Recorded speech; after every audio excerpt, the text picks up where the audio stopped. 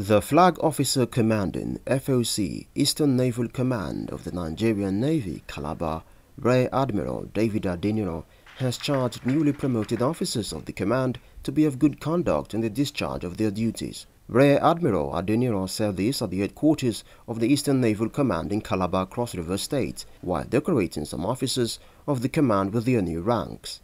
This followed recent approval of promotion of about 140 officers to various senior ranks by the Naval Board. Addressing the newly promoted officers, Rear Admiral Adeniran and other senior officers described the promotion as a means of encouraging them to be more committed to duties and service to their fatherland. It's motivation and it's also a sign of acknowledgement of our hard work. Therefore, we urge you all not to rest on your oars.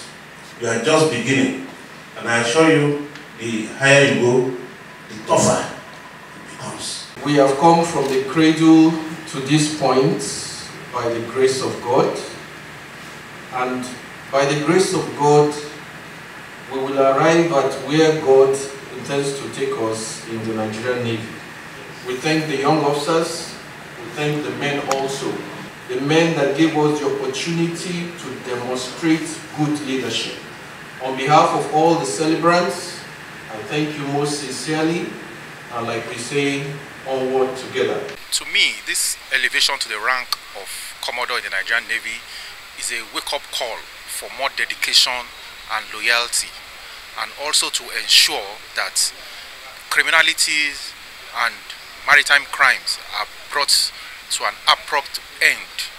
And my message to criminals along the maritime environment is for them to desist because the Nigerian Navy will remain resolute to make sure that we bring to book any perpetrators of crimes and criminalities along our waterways in order to ensure economic prosperity of our great nation.